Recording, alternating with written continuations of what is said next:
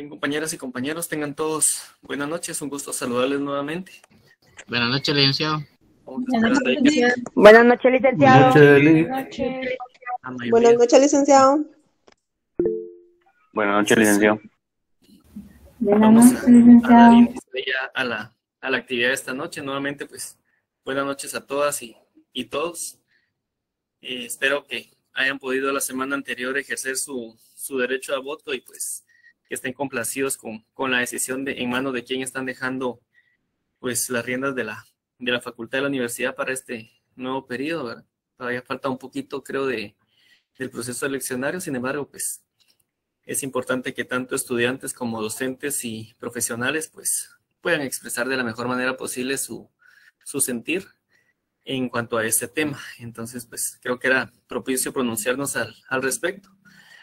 Y pues ahorita ya creo que nos quedan dos o tres clases, entonces tenemos que aprovecharlas de la mejor manera posible, precisamente sobre los temas que nos atañen ahorita, que es el tema de la, de la reforma constitucional. Entonces, pues vamos a, ir viendo un poco de, de, esta, de esta temática. No sé si tienen alguna pregunta previo a que iniciemos la, la sesión de esta noche.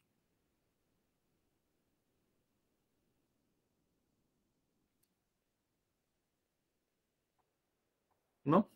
No, licenciado. No, licenciado. Muy bien. Entonces, Yo sí, Lick. Yo sí tengo una duda aquí.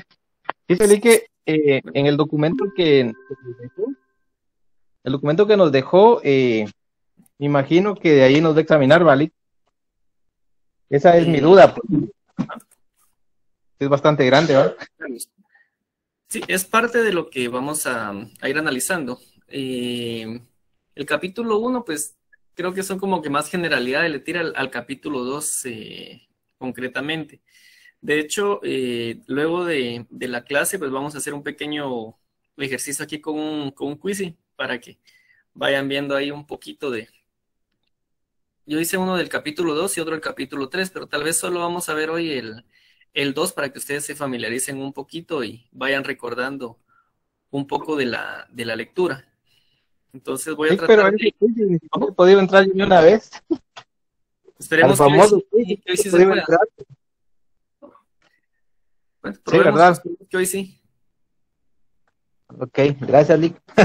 Bueno, sí, y ese, como le digo, a veces es la plataforma en sí la que, la que genera algún tipo de, de problema, tal vez por algunos correos. Entonces, no, no podría determinar yo realmente cuál es la, la problemática que les está dando a algunos compañeros, ¿verdad? Esperemos que sí, que sí se pueda.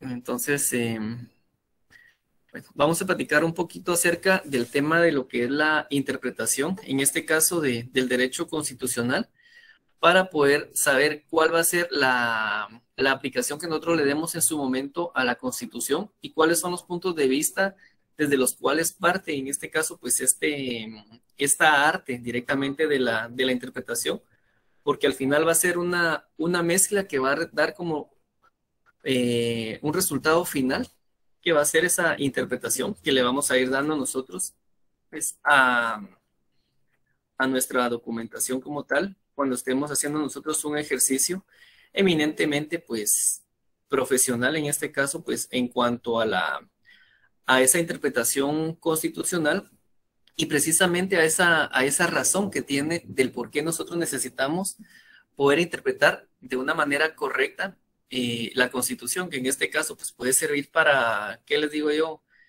Eh, aplicar de una forma correcta la constitución, los artículos que de ella preceden.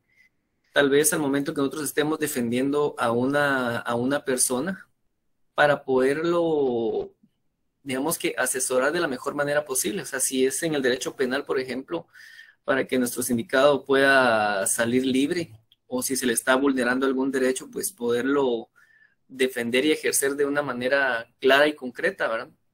Por decirles algunas de las, de las situaciones o los tópicos que podemos ir tomando nosotros dentro de estas interpretaciones. Entonces, pues como en todo, todo Estado, va a tener un ordenamiento jurídico. Este ordenamiento podríamos decir que es diseñado en este caso con un ánimo que se encuentre permanente en el tiempo, o sea, que no vaya cambiando Entonces, hemos tenido esa ventaja que desde el 85 hasta este momento, pues, la Constitución se ha mantenido vigente. O sea, los diferentes normativos jurídicos posiblemente han ido sufriendo de diferentes cambios, reformas. Eh, por ejemplo, Herbigracia, el Código Penal acaba de tener hace unos días alguna reforma. Durante los últimos cinco años ha tenido varios procesos de reforma, tanto en materia de derechos humanos como eh, normativa internacional que ha provocado que este mismo Código Penal se vaya, se vaya reformando. Entonces, por decirle uno de los tantos ejemplos que, que implica básicamente esta, esta permanencia que, que platicamos. Entonces, pues, toda esta interpretación constitucional implica básicamente que la normativa que existe pueda ser dinámica y que pueda, en este caso, pues, afrontar los diferentes fenómenos, en este caso, de esa organización política frente, em, digamos que a su, a su devenir histórico. Entonces podríamos decir que esta necesidad de adecuación a la dinámica social, pues también va a ser resentida, en este caso, por la norma constitucional. Es decir, que aunque en menor medida la normativa ordinaria exista, las normas en este caso, pues de la primera se van a encontrar en el mayor campo de generalidad que va a poseer el ordenamiento jurídico. Entonces siempre en la cúspide va a estar la constitución y esta va a ser la norma que va a prevalecer sobre las normas, eh, en este caso, inferiores. Así pues, digamos que una constitución va a, si va a cambiar, va a necesitar, en este caso, que este cambio sea directamente para que se pueda adecuar a la dinámica de la realidad o en el medio social en el cual nosotros nos estamos desenvolviendo. Entonces podríamos decir que dichos cambios, por ejemplo, pueden producirse, en este caso primordialmente, a través de lo que es una reforma constitucional, a través de una interpretación constitucional o también podría ser a través de una costumbre constitucional. Entonces, inclusive podría darse a través de los denominados eh, movimientos violentos.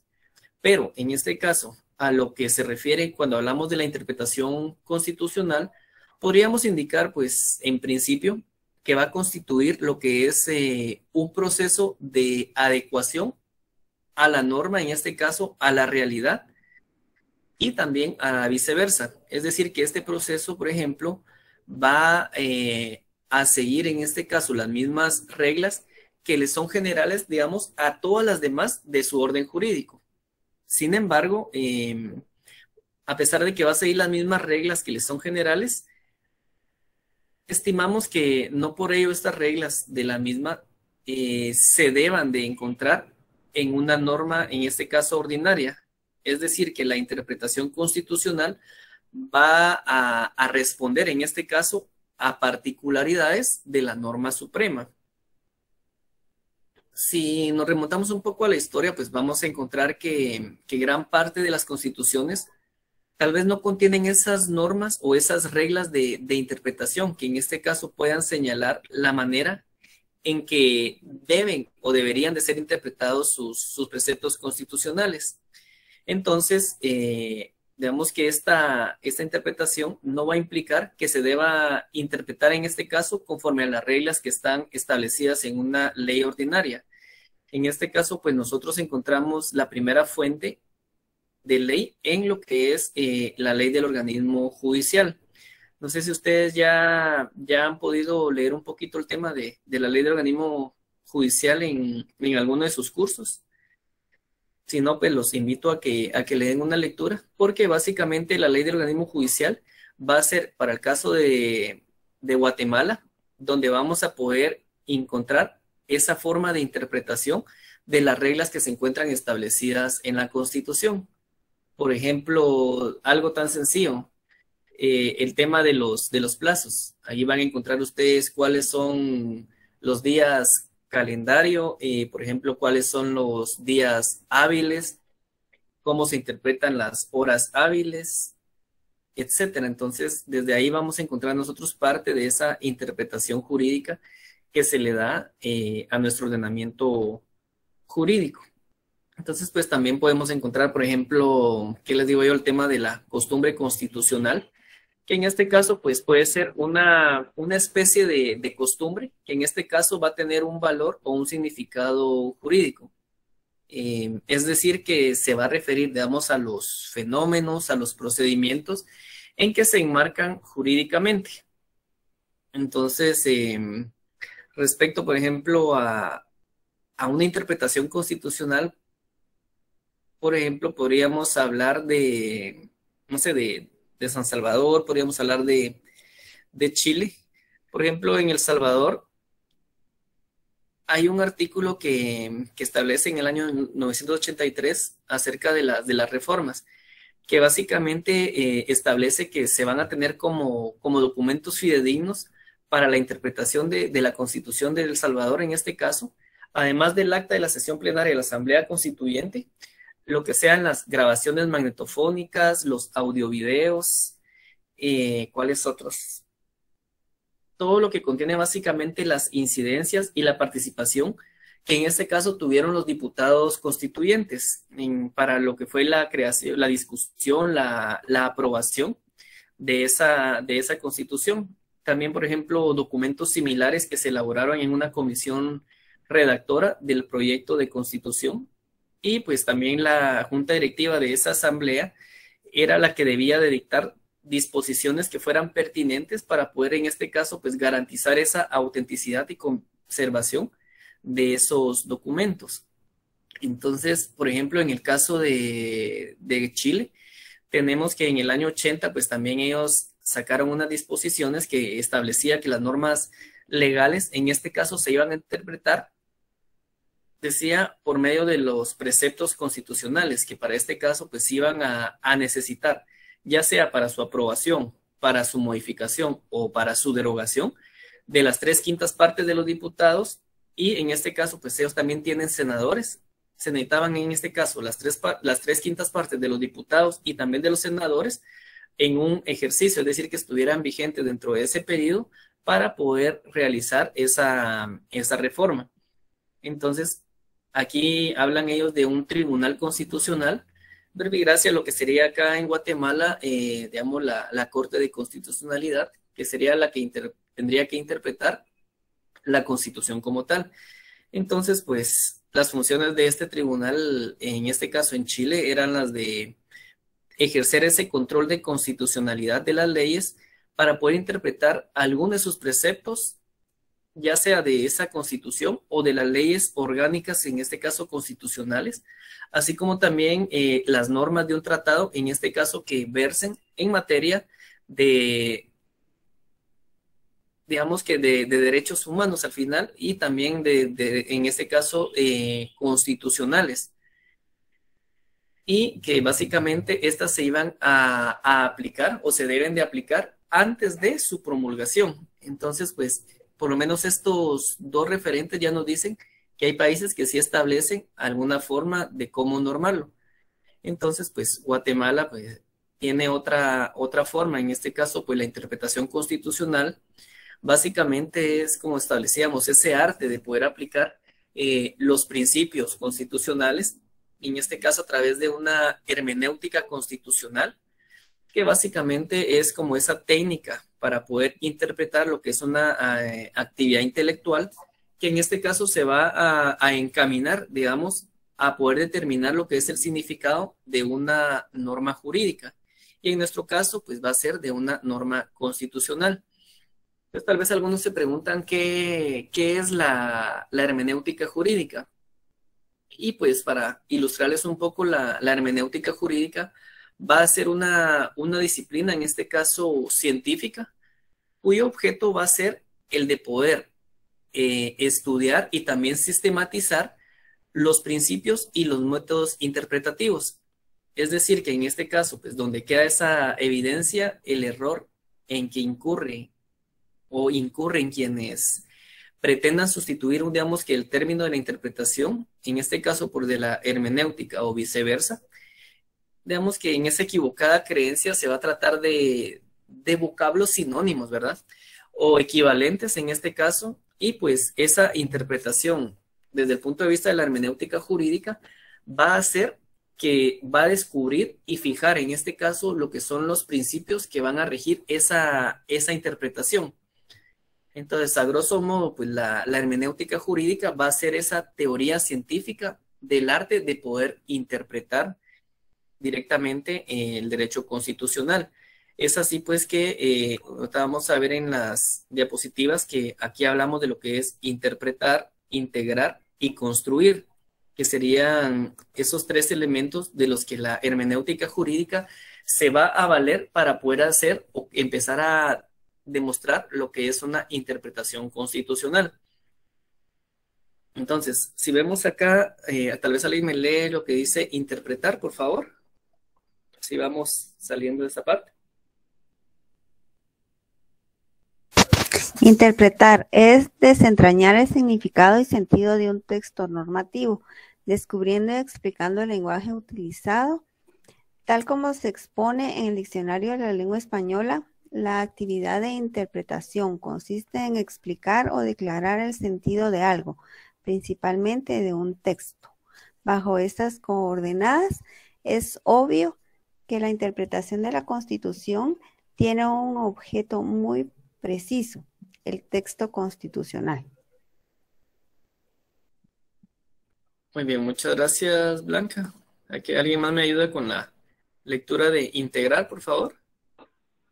Integrar. Integrar es precisar la extensión y el significado de una norma dentro de un sistema jurídico que le brinda sentido, acudiendo a la autointegración por vía de la analogía o a la heterointegración a través de valores, principios que integran la idea política dominante en la sociedad. Muy bien, muchas gracias Heidi. Y ahora otra persona que me ayude a leer lo que es la construcción, por favor.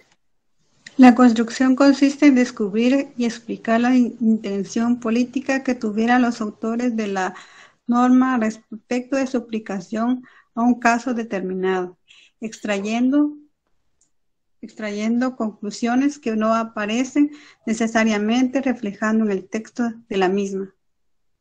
Muy bien, muchas gracias. Eh, ¿Quién fue primero? Elizabeth, creo, ¿no? Así es. gracias, Elizabeth.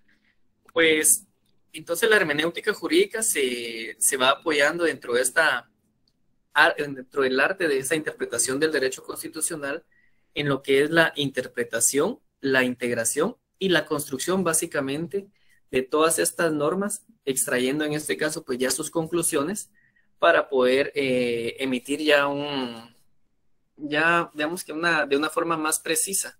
Ya ustedes cuando vean lógica jurídica, creo que en el quinto semestre, eh, van a ir conociendo pues cómo, cómo es que se van elaborando las premisas para poder generar una, una conclusión.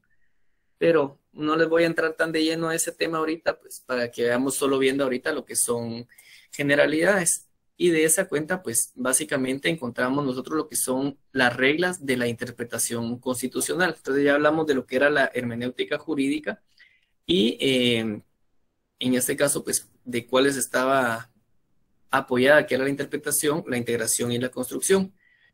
Entonces, ahora si hablamos de las reglas de interpretación, pues básicamente eh, nos vamos a, referir un poco a, uno de los famosos tratadistas argentinos, en este caso es Linares Quintana, que nos establece eh, ciertos parámetros acerca de cómo utilizar estas reglas de, interpretación constitucional.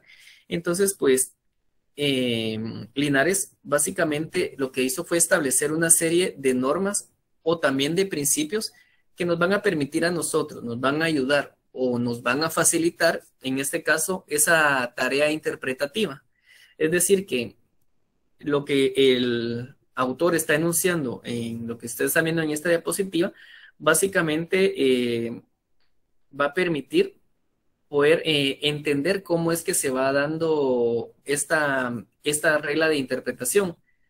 La primera regla, pues básicamente es el fin supremo de la Constitución. Si ustedes tienen su, Constitución a la mano, pues se van a dar cuenta que aparece una palabrita de fin supremo. O sea, cuando ustedes van a, van a verla, me podrán decir si estoy en lo correcto o estoy equivocado. ¿Alguien podría ver el preámbulo y decirme si existe esta palabra de fin supremo?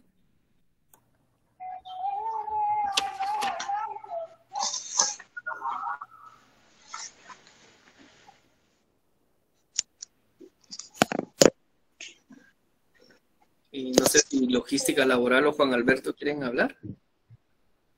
¿O alguien más que me quiera apoyar? Y licenciado, aquí estoy buscando cabal en, en donde dice invocando el nombre de Dios, ¿verdad? Ajá. Aquí dice que reunidos en la Asamblea Constituyente con el fin de organizar jurídica y políticamente el Estado, afirmando la, la primacía de la persona humana como sujeto y orden y el fin del orden social. Y estoy buscando lo que dice usted del fin supremo.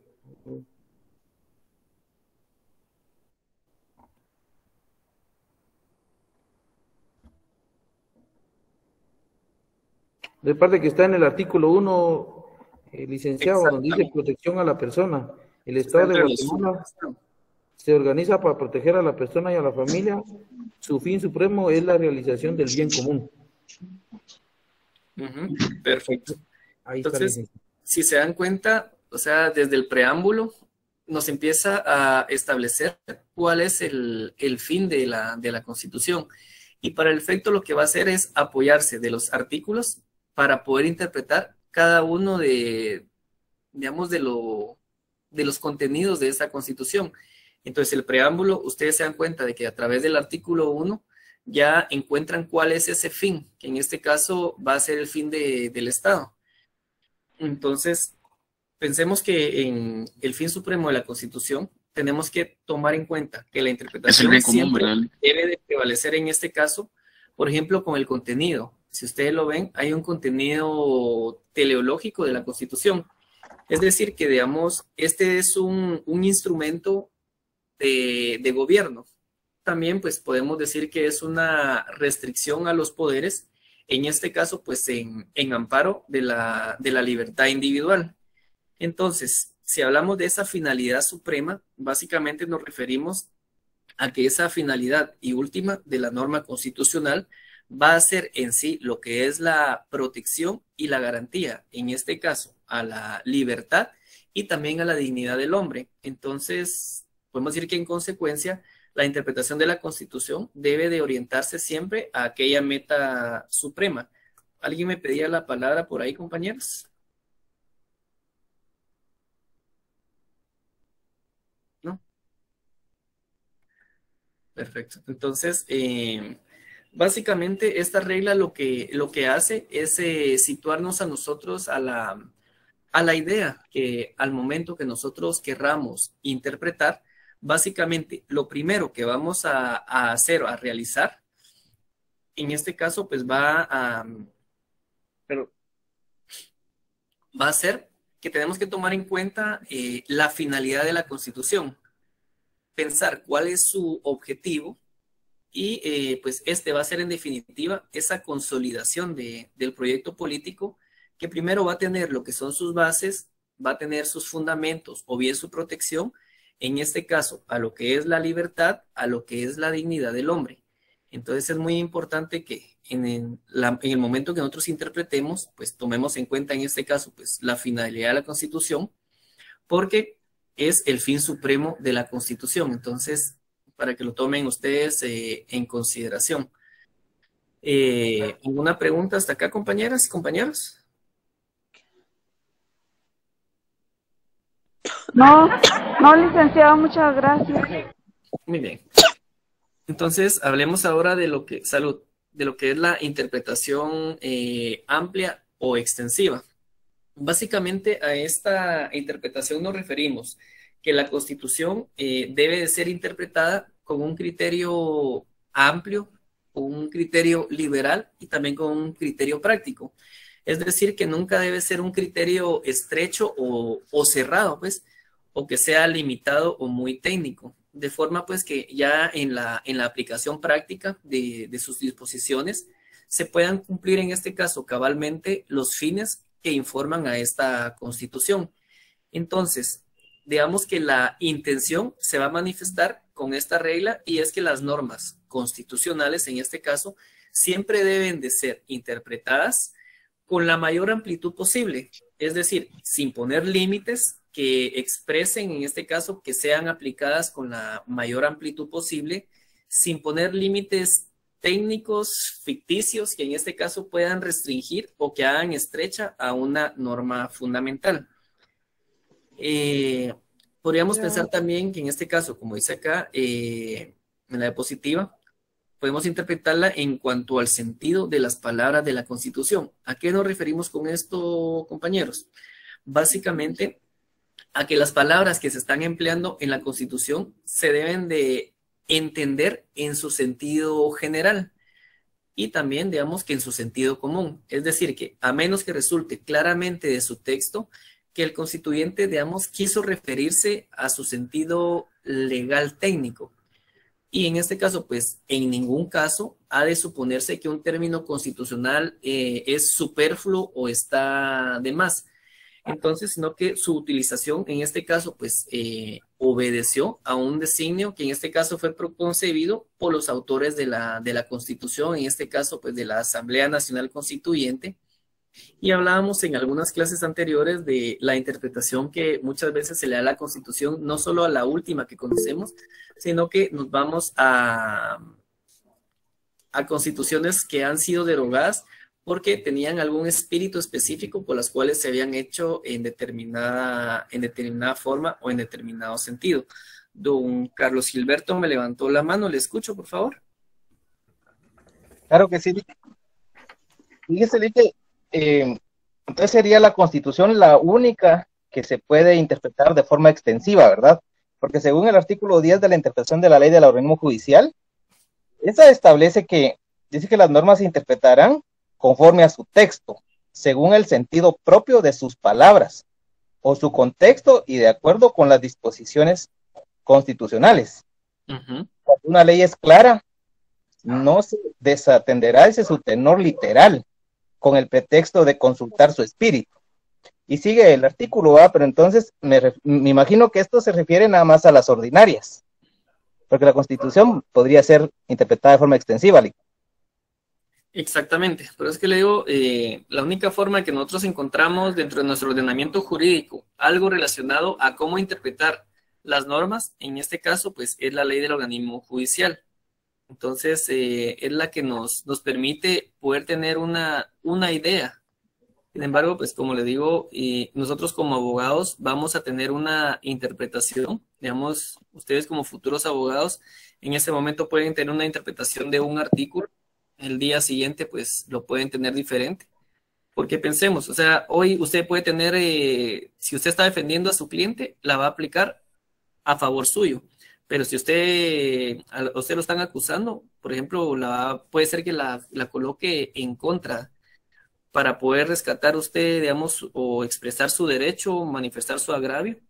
Entonces, vamos a hacer la interpretación. Sin embargo, pues siempre tenemos que tratar de que sea extensiva al espíritu de, esta, ¿verdad? Entonces, pues, o sea, tiene su, fin supremo. Entonces debemos de hacer esa interpretación básicamente en forma amplia o extensiva en el sentido de sus palabras.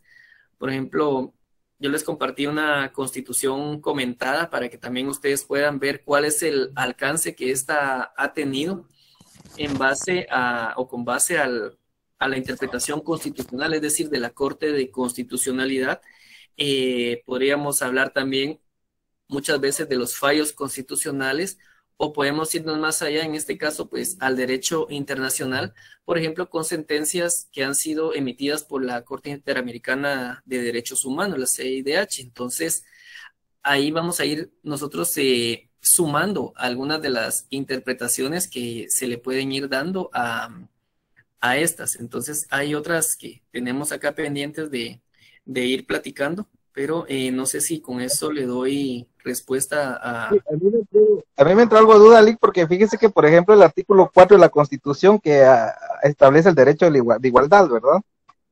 Eh, es importante cuando nos, nos, nos, trasladamos a lo que es mm, eh, la pena de muerte, ¿verdad? Y a quienes se les puede aplicar. Dice ahí, ah, no se le puede aplicar a los mayores de edad ni a las mujeres, ¿verdad? Entonces, eh, y ahí ya cambió la interpretación, porque si el 4 nos explica de la, del derecho de igualdad, ahí ya no hay igualdad. Porque si una dama, por ejemplo, con respecto a las damas, cometen un delito el mismo que cometió el hombre y que eso eh, es aplicable la pena de muerte, entonces ahí ya, ahí ya caemos en desigualdad, ¿eh? y la interpretación ya fue diferente. Ahí es donde me entró a mi duda, Lick. Sí, yo creo que a veces eh, tenemos que interpretar lo que es la igualdad y también a veces lo que es la, equidad. A veces, por ejemplo, yo pongo un ejemplo muy sencillo. Si nosotros ponemos tres cajones cada cajón es del mismo tamaño y queremos ver eh, a través de una, de una, se me olvida la, la, palabra esta. Pensemos que hay un campo de fútbol o de básquetbol atrás o de béisbol, cualquiera. Pero para poder llegar eh, hay tres personas de, de diferente tamaño, un niño, un joven y un adulto.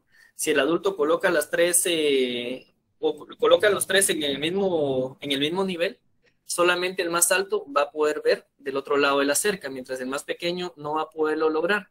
Entonces ahí estamos frente a una igualdad, o sea, todos tienen la misma igualdad de, de oportunidades, por así decirlo.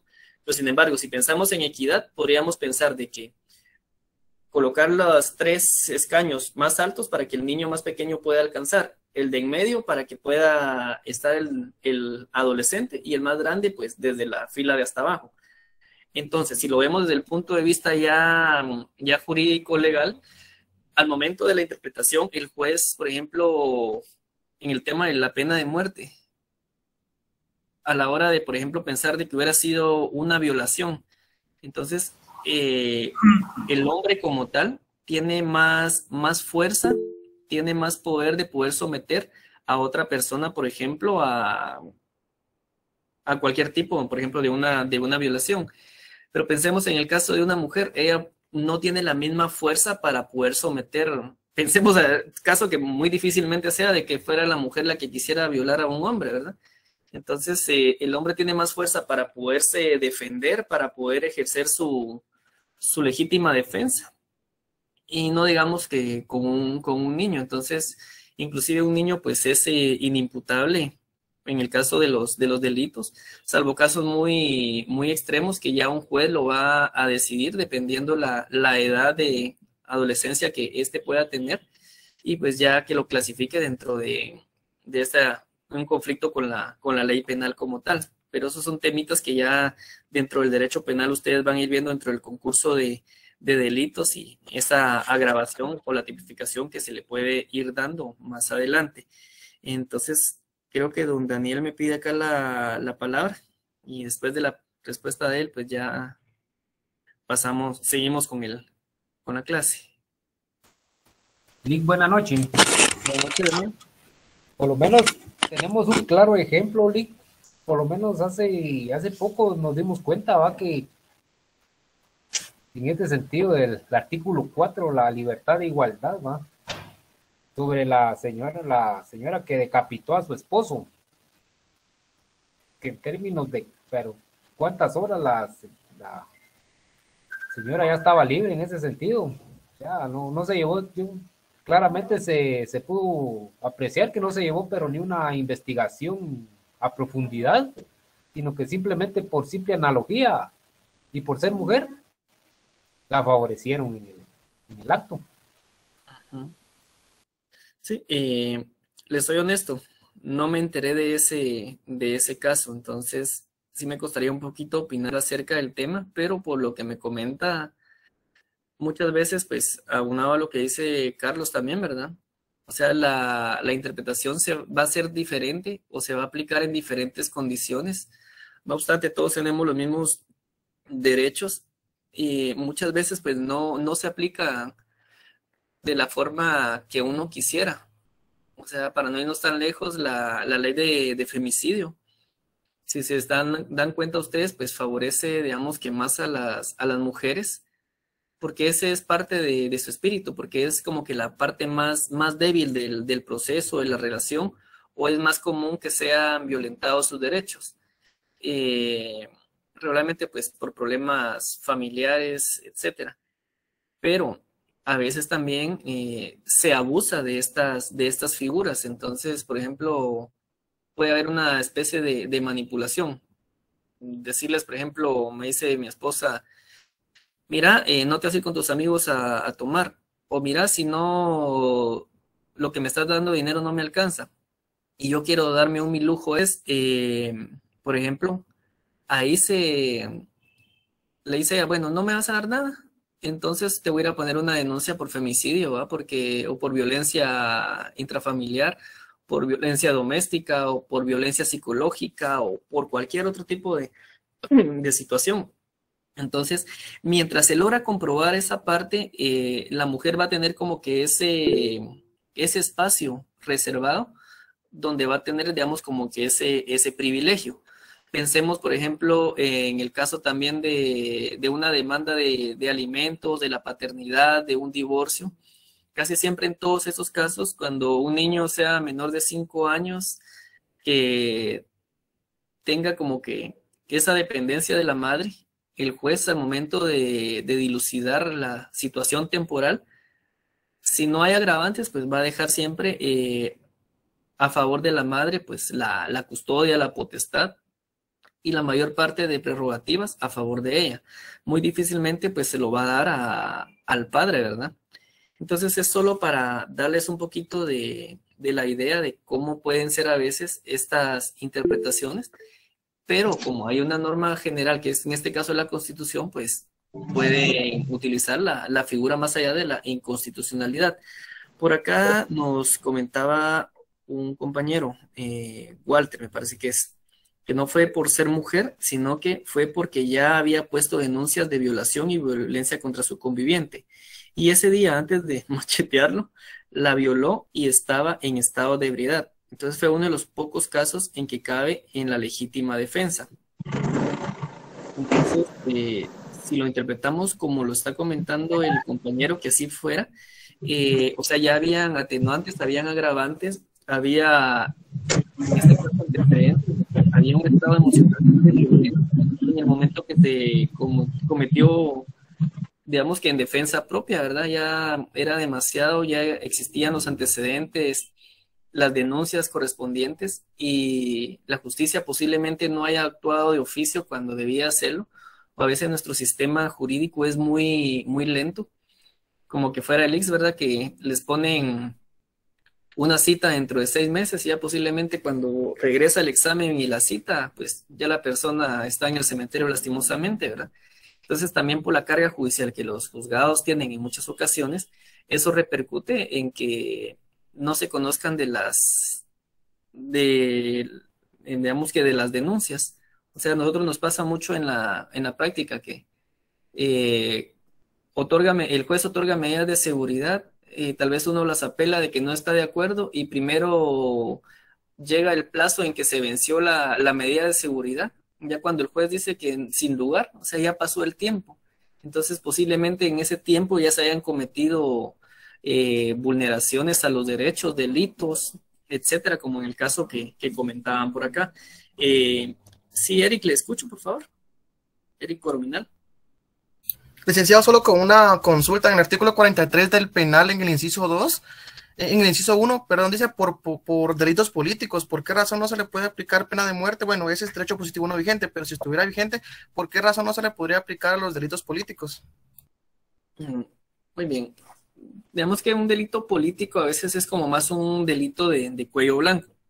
Al final, delito es delito, solamente de que en este caso una de las interpretaciones es de que no se está poniendo en riesgo aparente la vida de las, de las personas.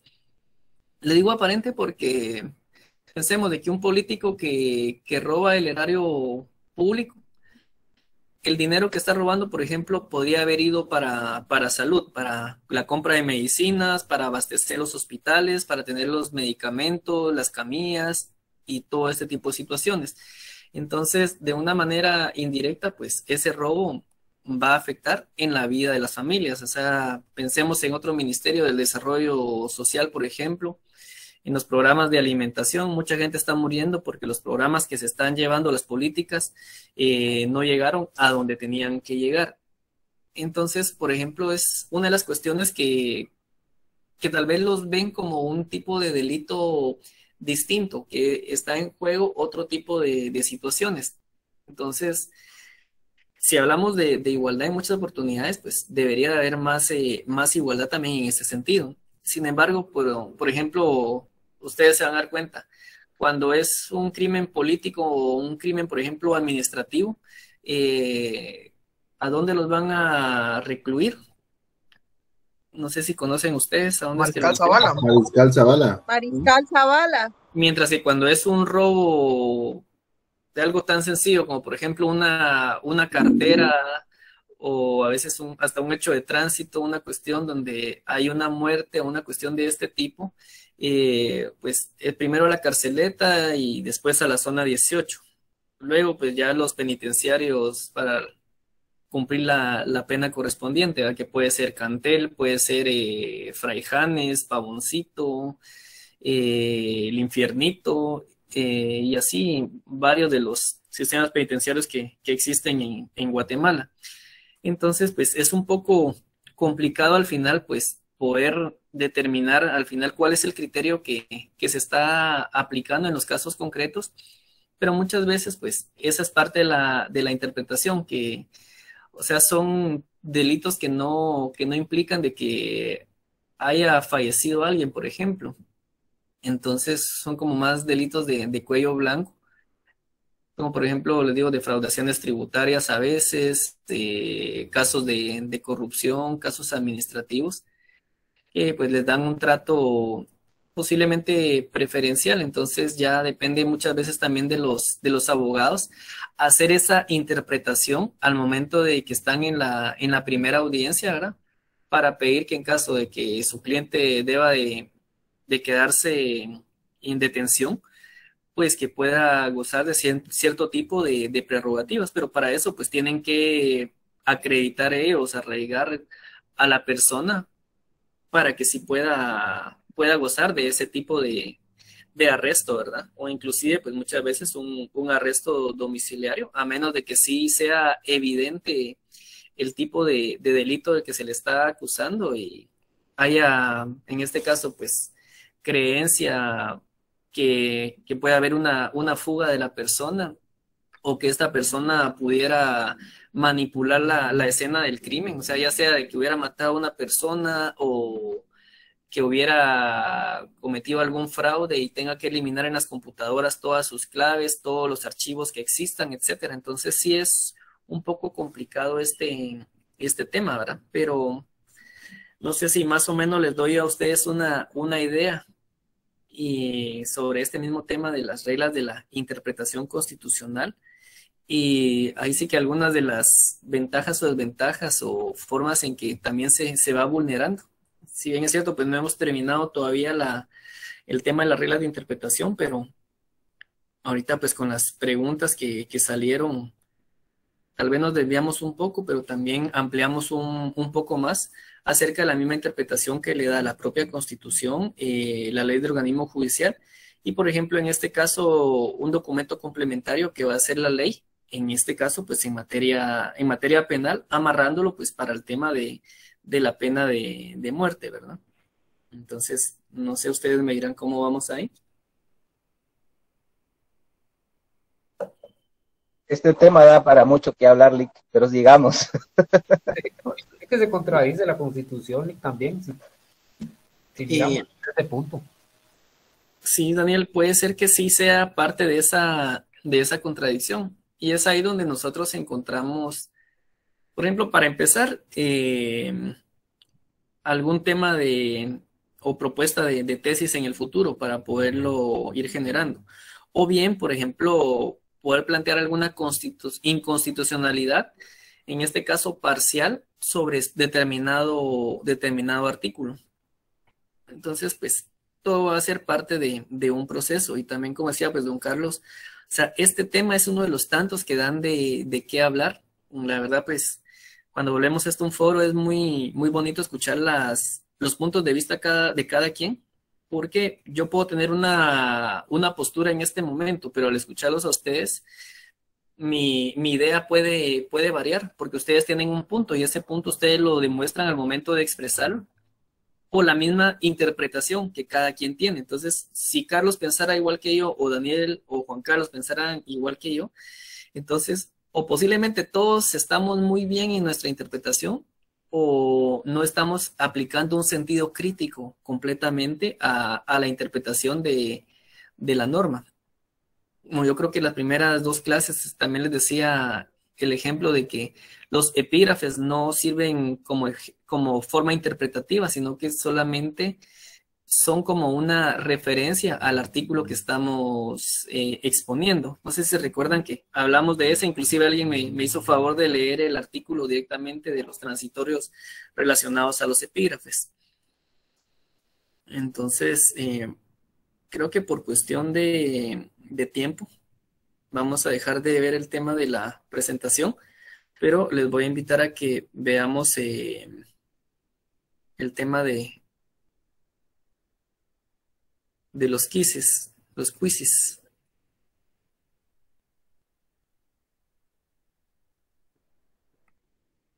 Entonces, eh, vamos a...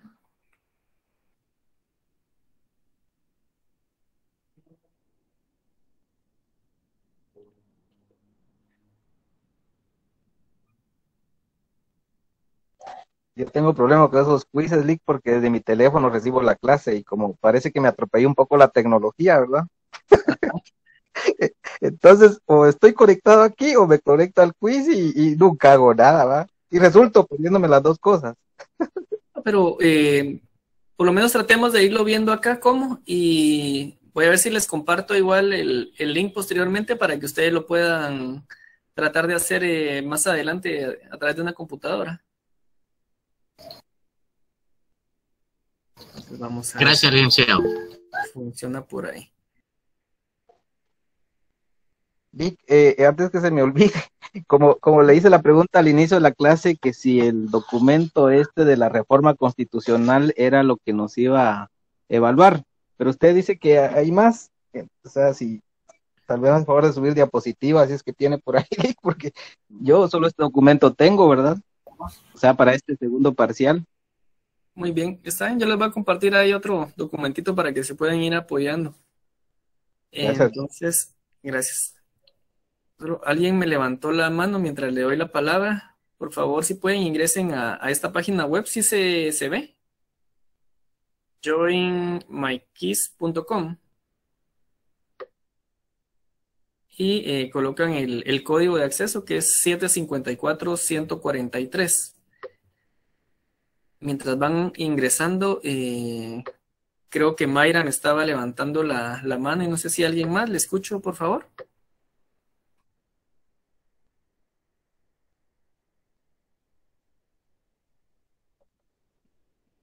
Creo que ya no está por ahí la compañera.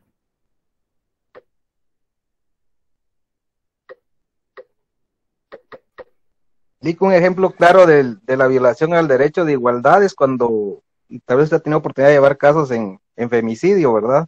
El que llega allí, allí no, no, no está tal aquel que dice el sindicato, no, ahí es el agresor y la víctima, ahí de una vez sentenciando a la Mara. Lick, disculpe, ¿cuál era el código? Ahorita le digo. Eh, sí, por favor, que no lo, no lo veo. 754-143. Gracias. Buenas noches, licenciado. Buenas noches. Cuatro. Eh, ¿Será que sería tan fino de podernos subir estas diapositivas que nos está presentando para tener una cierta noción en el siguiente, la siguiente clase, por favor, licenciado? Claro que sí, con gusto. Gracias, muy amable. Solo regresando ahora con don Carlos. Eh, así como la ley del femicidio, Hay, hay otro tipo de, otra ley también que es totalmente distinta a como estamos acostumbrados nosotros que en este caso es la, ley de extinción de dominio. En este caso, pues, el, como les digo, es diferente porque básicamente nos están diciendo de que nos van a quitar eh, determinado bien, a menos que nosotros demostremos que efectivamente es nuestra. Caso contrario, pues pasa a, a extinción de, dominio. Entonces, este fue un ejemplo que tomaron de, de Colombia, pero o sea, sirve también como para ejemplificar de que a veces uno por la siempre costumbre ha tenido eh, la posesión de un bien pero digamos que a veces por el tema ligados al narcotráfico a temas de, de corrupción, de enriquecimiento ilícito, eh, o cualquier otro tipo de, de, delitos, en este caso, pues más políticos que otra cosa. Entonces se da mucha esta interpretación de que existe un enriquecimiento de la noche a la mañana que, o sea, genera sospechas entre las personas y eso pues genera básicamente pues que uno deba demostrar la procedencia de esos bienes, de que hayan sido obtenidos de una forma lícita. Entonces, pues para muchos es eh, una cuestión que no debería existir porque no estamos acostumbrados a, a, verlo de esa, de esa manera. Entonces, solo para darle otro de las referencias. Dick, eh, perdone, no, no, no quiero ser abusivo. Eh, yo hacía referencia a la ley de femicidio, perdone. Por eso le dije, la ley de femicidio es un, una de las tantas que ya habíamos, habíamos analizado, que le digo, o sea, tiene usted toda la, toda la razón, porque como le digo, o sea, uno de hombres, o sea, cuando lo llegan a citar, es porque, o sea, ya, ya lo están condenando básicamente. Y, o sea, uno ahí tiene la carga de la prueba, pero ya lo están imputando a uno como, como el agresor. Entonces, inclusive muchas veces... aunque usted lo haya dejado de, de, no dar completo el gasto, va, pero allá ya es agresor. Ahí ya está condenado. Cuando uno entra ahí ya, ya, ya lo ven ahí como que ya lo condenan solo con entrar ahí. Sí. y como le digo, eh, y después eh, poder limpiar uno su, su imagen, o sea, es muy, muy difícil, ¿verdad? Más si se vuelve mediático el, el tema. Entonces, ahí sí que hasta a veces eh, al momento de llevar un, proceso penal en contra, mientras se dilucía la situación, termina el proceso a los cuatro años y al final usted sea, no sea condenado, sino que salga libre, de todos modos ya queda ese estigma de la propia sociedad, ¿verdad? Por decir en una de las tantas cuestiones. Entonces vamos a darle paso ahorita a la, a la actividad que tenemos porque ya se nos va a vencer el tiempo. Entonces, perdone eh, Carlos, que nos íbamos platicando ahorita, pero nos sí damos paso a la, a la actividad. Entonces, pues, relacionado al capítulo 2 del texto que hayamos leído, pues acá tenemos la, la primera pregunta, la cual pues dice que se plantea como un proceso formal de la norma fundamental a los cambios y a las variantes que presenta la sociedad política la cual se aplica y organiza y responde. Entonces, para el compañero que no tiene ahorita la, la aplicación, pues aquí se encuentran las, las respuestas.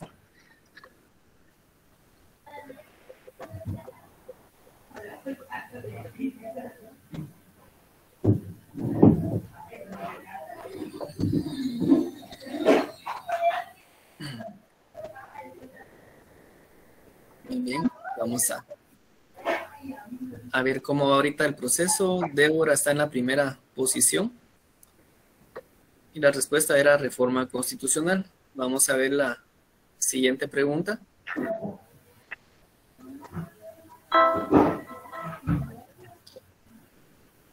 Aquí nos dice que la actual constitución de política república es producto de un proceso legislativo constituyente realizado por una Asamblea Nacional electa de forma directa y popularmente y con ese objetivo y para suplir la ausencia de una constitución política república que había sido derogada a raíz del golpe de Estado. ¿Creen ustedes que es verdadero o que es falso? Eso es falso, Lick.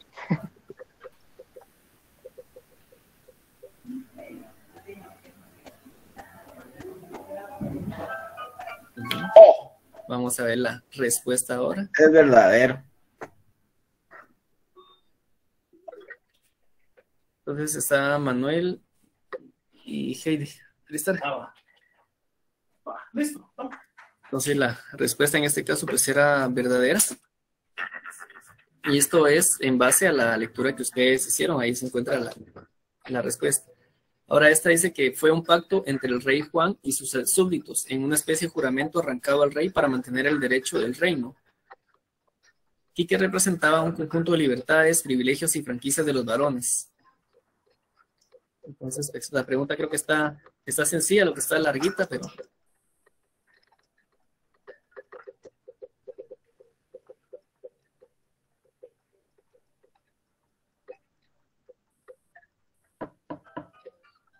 Vamos a ver cuánto le atinaron a la carta magna.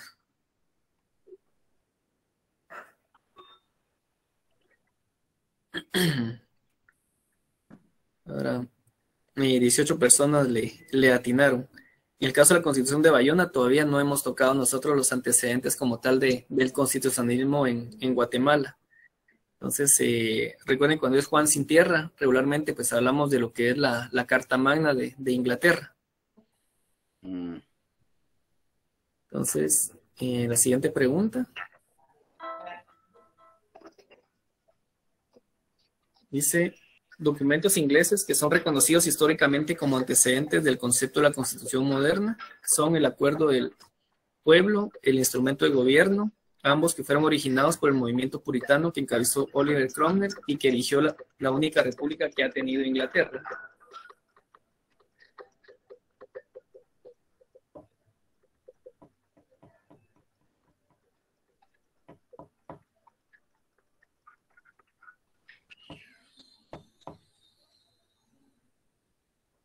Muy bien, vamos a ver la respuesta verdadera. Entonces, Dominga va ganando ahora. 18 personas pusieron falso, la mayor parte verdadero. Vamos a ver la siguiente.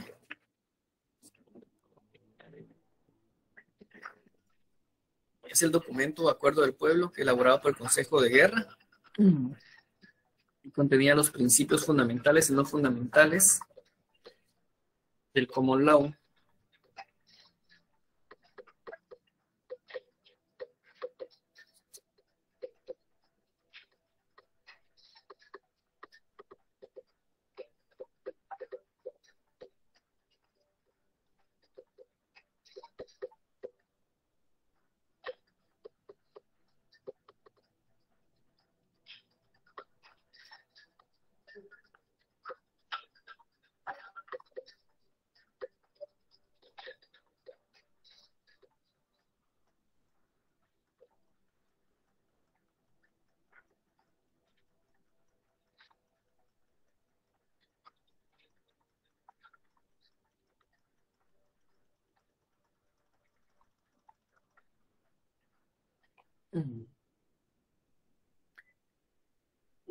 Muy bien. Por cuestión de tiempo, no sé si ustedes quieren que sigamos.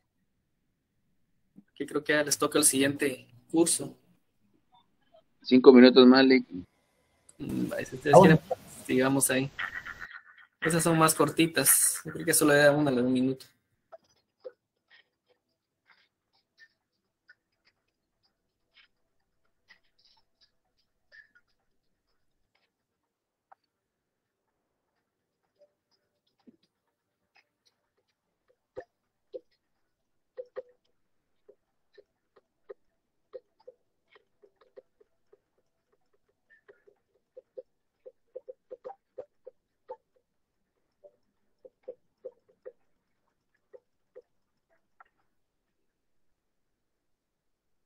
Bien.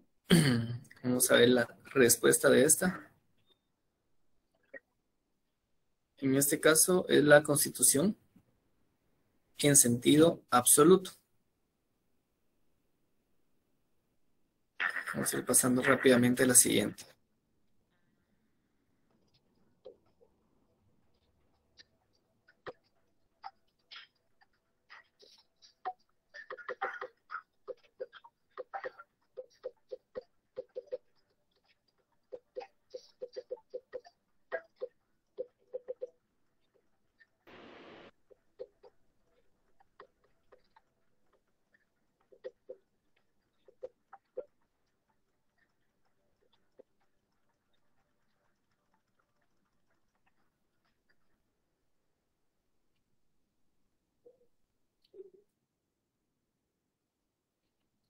Casi todo le atinaron en esta. Vamos a ver la siguiente.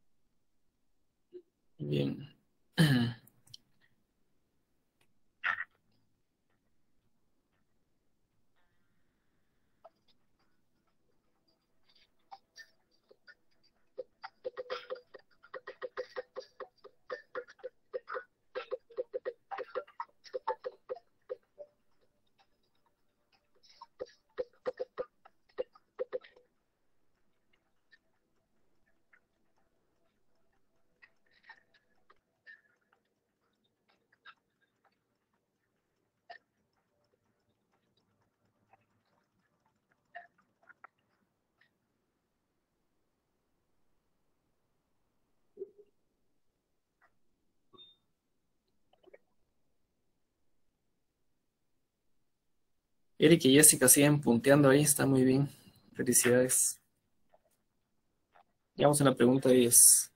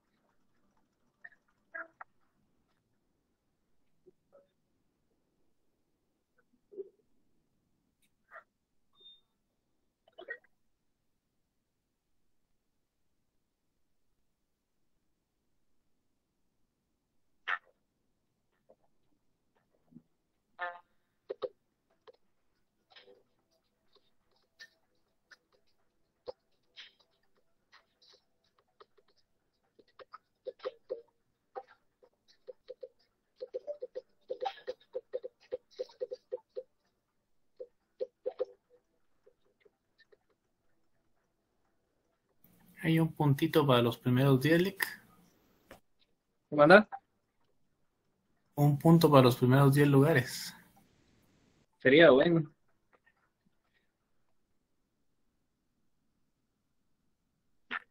Vamos a ver la última pregunta ahí para que Yesenia Dominga y había el compañero que desapareció ahí de la lista. Ahí hay violación al artículo 4. Estos son ejercicios para ejercitar y comprobar ahí lo que han leído y fortalecer su conocimiento de una forma asincrónica.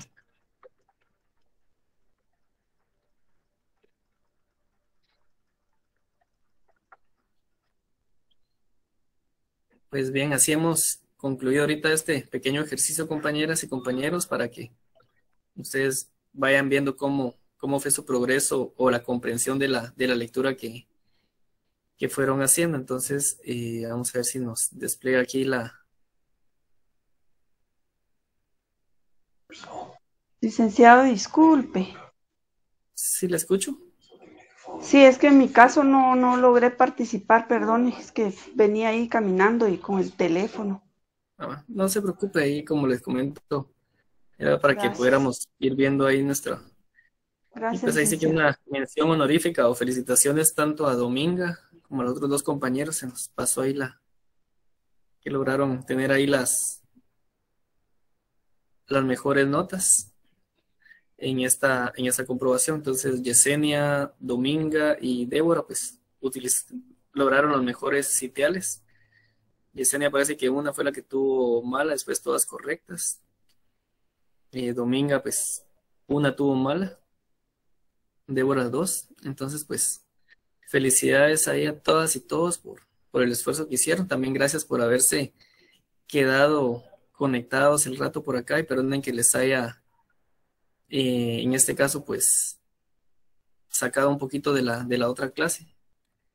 Pero primera vez nos vemos el día miércoles y pues ya, ya avanzamos en lo que nos falta del tema. Entonces, gracias a todos por su participación. Que tengan buenas noches. Feliz noche, licenciado.